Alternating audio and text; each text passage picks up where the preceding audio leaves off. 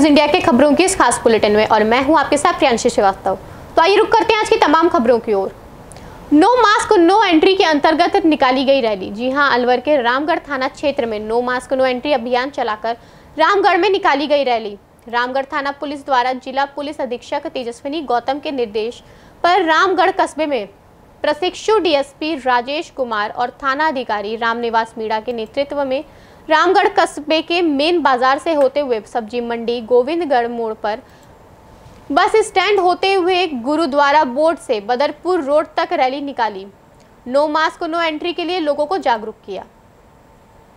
प्रशिक्षु डीएसपी राजेश कुमार ने बताया कि ज़िले में कोविड 19 के संक्रमण रोगियों की वृद्धि को रोकने के उद्देश्य से आज रामगढ़ कस्बे में नो मास्क, नो एंट्री के अंतर्गत रैली निकाली गई और लोगों को जागरूक किया गया कि बिना मास्क के बाज़ार में एंट्री न करें।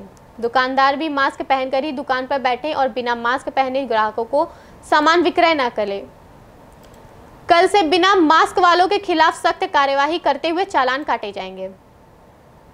देखिए अलवर से जितेंद्र कुमार की यह रिपोर्ट।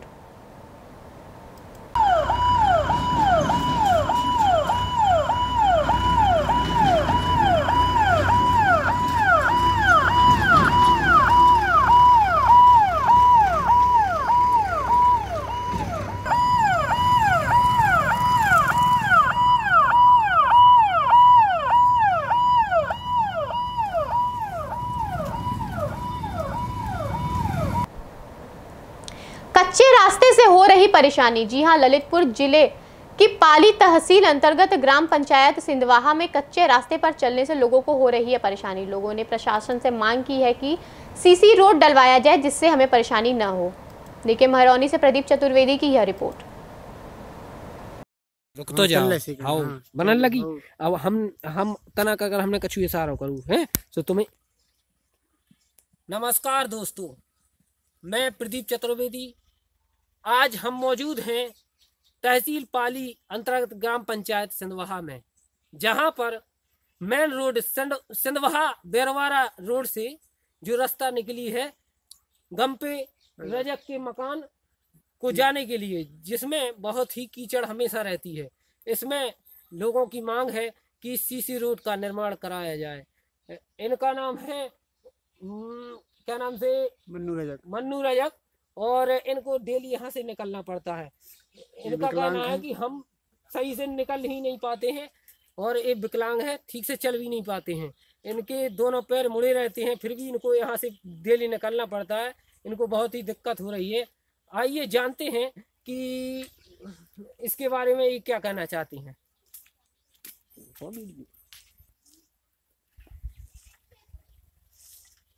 ऐसी कड़म।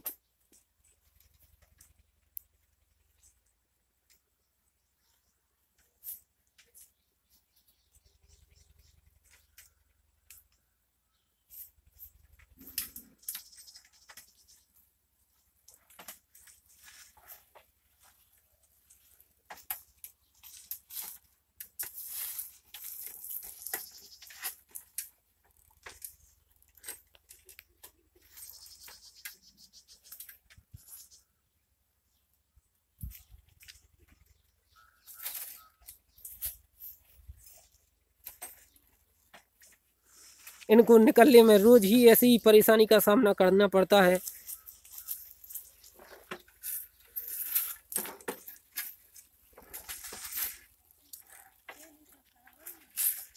आपको क्या क्या कहना है इस बारे में? इस बारे में कहना चाहता हूँ कि यहाँ पर हम डेली दुकान पर जाते हैं। यहाँ रास्ता हमें बहुत परेशानी पड़ती है। नीचे उतरते हैं साइकिल फंस जाती है। ज़्यादा कीचड़ है यहाँ, बहुत दिक्कत पड़ती है हमको। रोज जाना, आना रहता है हमारे मेन गेल जी है रास्ता। क्या क्या प्रशासन से क्या मांग करती हूँ? मैं मांग करता हूँ कि यहाँ पर सीसी डला जाए। मतलब रोड सुधरवाया जाए। हाँ रूट सही होना चाहिए यहाँ से हम निकल पड़े। यहाँ हमें बहुत दिक्कत आती है बहुत परेशान है। आज से दस साल पहले से ये रास्ता अच्छा। यहीं है। मतलब यहीं से आपको डेली हाँ यहीं से मेरी मेरा रास्ता है मेरी। बहुत प्रॉब्लम आती है हमको। अब तीन पच्चा साइकिल है मैं नीचे उतरता हूँ फिर छप जाता हूँ मुझे पेंट पूरा गीला हो जाता है। मैं क्या करूँ बार बार हर बार। यही कोई किसी की मदद दे, देना पड़ती है। कोई कहे किसी से कह देंगे तना साइकिल ठेल दो कोई आता ही नहीं है। पर नहीं ऐसी छपते जाते जा- चले जाते हैं। चलिए ठीक है। गाँव भिकमपुर मंदिर निर्माण चालू किया गया। जी हाँ मध्य प्रदेश के उज्जैन जिला के खाचरौद थाना अंतर्गत गाँव भिकमपुर में गुर्जर समाज का मंदिर दिनों से बंद था जिसका निर्माण चालू हो गया है जिसकी लागत 10 लाख रुपए है। देखिए भिकमपुर से मनोज गुर्जर की यह रिपोर्ट। विकमपुर का मंदिर है जो यहाँ पे निर्माण चल रहा है। बहुत दिन से बंद था जो आज इसका निर्माण हो चुका है। मैं बात करवाता हूँ उनसे। भाई साहब कौन सी समाज का मंदिर है? ये गुजर गुजर समाज की मंदिर है। कितने पैसे लगे हुए इसको बनाने में? एक करोड़ का प्रोजेक्ट है। कितने दिन और लगे हुए इसको बनाने में? इनका तीन साल का एग्रीमेंट है। एक साल और लग जाएगा अच्छा चलो ठीक है। इसका ठेकेदार कहाँ का है? राजस्थान का है। अच्छा ये पूरा सफ़ेद म- पत्थर से ही बनेगा है ना? मार्बल पूरा सफ़ेद मार्बल से बनेगा मकान। इसमें कौन से भगवान बिठाए जाएँगे? राधा कृष्ण मंदिर है राधा कृष्ण भगवान हाँ तो ये गुजर समाज का मंदिर है जो राधा कृष्ण भगवान बिठाया जाएगा यहाँ पे विकमपुर में। जो तस्वीरें दिखाते हैं हम आपको। पुलिया निर्माण कराया जाए। जी हाँ ललितपुर ज़िले की महरौनी क्षेत्र अंतर्गत सजनाम तिगैला से सिंधवाहा जाने वाले मार्ग पर स्थित पुलिया पूरी तरह से टूट चुकी है, जिसके कारण कई गाँव जैसे कलोथरा, सिंधवाहा, सिंगेपुर, बेरबारा, परसई आदि गाँव के लोगों को हो रही है परेशानी। प्रशासन से मांग है कि जल्द पुलिया निर्माण कराया जाए। देखिए, महारौनी से प्रदीप चतुर्वेदी की यह रिपोर्ट। मौजूद हैं। सजनम तगेला से ग्राम सिंधवा जाने वाले रूट पर, जहाँ पर ये जो पुलिया है पूरी तरह क्षतिग्रस्त हो चुकी है। यहाँ पर बड़े वाहनों का निकलना तो दूर, यहाँ पर मोटरसाइकिलें भी ठीक से नहीं निकल पा रही हैं। ग्रामीणों का कहना है कि यह मुख्य सड़क है जो कई गाँवों को जोड़ती है। लेकिन इसको कभी भी मरम्मती मरम्मतीकरण नहीं कराया गया। इससे लोगों को भारी परेशानियों का सामना करना पड़ रहा है। आइए जानते हैं लोगों से कि यह पुलिया कब से इस, इस प्रकार टूटी पड़ी है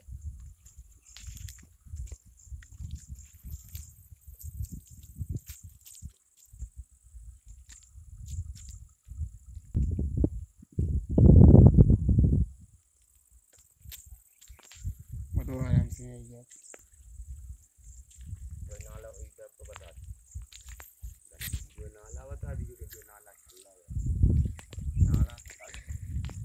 ये सजनाम बाँध से। रुको रुको। बताइए कहाँ कहाँ के लोग यहाँ से निकलते हैं? ये बहुत बहुत दूर ये बंगरिया रोड है बाईपास में जाके जुड़ा है ये रोड। ये बाईपास यहाँ से आया है सजनाम बाँध से बंगरिया को जुड़ा है तो पूरा फूटा है दो चार फुट फूटे रखे तो मतलब कितने कितने समय से टूटा है? ये ये? दो तीन साल से टूटे तो मतलब जब से किसी ने इसको मतलब मरम्मत नहीं करवाई। कोई नहीं आया यहाँ देखने के लिए। और ये सड़क भी टूटी है शायद। पूरा टूटा है। बड़े बड़े वाहन नहीं बड़े बड़े वाहन नहीं निकल पाते हैं यहाँ से और सब जाम रोड है। किसानी के लिए। भी तो- नहीं निकल पाते तो आप प्रशासन से क्या चाहते हैं? जो चाहते हैं कि बनवा जाए। बनवा दे पुल। सरकार। सरकार। चलिए ठीक। निकलने को बड़ी परेशानी। प्रधानमंत्री स्वनिधि योजना से खुश हैं लोग। जी हाँ मध्य प्रदेश के जिला मुरैना प्रधानमंत्री स्वनिधि योजना से दस हज़ार का ऋण पाकर अम्बाह निवासी सुग्रीव कुशवाहा फल का ठेला लगाकर बेहद खुश हैं। सुग्रीव कुशवाहा कहते हैं कि पीजी कॉलेज अम्बाह के सामने फल का ठेला लगाकर अपना और अपने परिवार का गुजर बसर करते थे परंतु लॉकडाउन के चलते उनका यह धंधा भी बंद हो गया और जमा पूंजी भी रोज़मर्रा की ज़रूरतों के सामान खरीद कर खर्च हो गई। उन, उन्होंने बताया कि मैं फिर एक साहूकार के पास पहुँचा तो साहूकार ने पहले तो पाँच रुपए सैकड़ा ब्याज देने की बात कही। फिर मैंने ज़्यादा अपनी मजबूरी दिखाई तो तीन रुपए सैकड़ा प्रति सैकड़ा पर ब्याज की सहमति बनी। इसके लिए भी साहूकार ने दो दिन बाद का समय दिया था। देखिए अम्बा से पवन किरार की यह रिपोर्ट। प्रधानमंत्री निधि योजना से दस हज़ार का ऋण मैं पाकर अम्बा निवासी सुग्रीव कुशवाहा फल का ठेला लगाकर आज बेहद खुश हूँ। सुग्रीव कुशवाहा कहते हैं कि पीजी कॉलेज अम्बा के सामने फल का ठेला लगाकर अपना और अपने परिवार का गुजर बसर कर रहे थे, परंतु लॉकडाउन के चलते उनका यह काम धंधा भी पूर्ण तरह से बंद हो गया। जमा पूंजी भी रोज़मर्रा की ज़रूरतों के सामान खरीद कर खर्च हो गई। मैं आर्थिक रूप से बहुत पूर्ण तरह से परेशान था। रोज़गार को पुनः प्रारंभ करने के लिए मैंने अपने दोस्त यार आस पड़ोस के लोगों से कुछ पैसे उधार लेने की सोची तो किसी ने भी सहयोग नहीं किया। इसके बाद मैं एक साहूकार के पास पहुँचा तो साहूकार ने पहले तो पाँच रुपये प्रति सैकड़ा ब्याज देने की बात कही, फिर मैंने ज़्यादा अपनी मजबूरी दिखाई तो तीन रुपये प्रति सैकड़ा ब्याज पर सहमति बनी। इसके लिए भी मुझे साहूकार ने दो दिन बाद का समय दिया। यस। मैं सुग्रीव कुशवाहा, पंद्रह वर्षों से हाथ ठेला लगाकर गली मोहल्ले फुटपाथ पर अपने परिवार के सदस्यों का पालन पोषण कर रहा हूँ। नगर पालिका द्वारा नगर नगर पालिका परिषद अम्बा द्वारा मुझे पता चला स्वनिधि योजना के बारे में। तो मैंने दस हज़ार रुपये का लोन प्राप्त किया बैंक के माध्यम से। मैंने फल खरीद कर उन्हें बेचना चालू किया और लॉकडाउन होने के कारण आर्थिक स्थिति खराब हो गई थी। फल बेचकर उन्हें गुजारा किया और अपने परिवार के सदस्यों का पालन पोषण किया। इसके लिए माननीय प्रधानमंत्री महोदय को, महोदय जी को आभारी हूँ और धन्यवाद देना चाहूँ अभी के लिए बस इतना ही। आगे की तमाम खबरों के लिए बने रहिए फास्ट न्यूज़ इंडिया के साथ। तब तक के लिए मुझे दीजिए इजाज़त। धन्यवाद।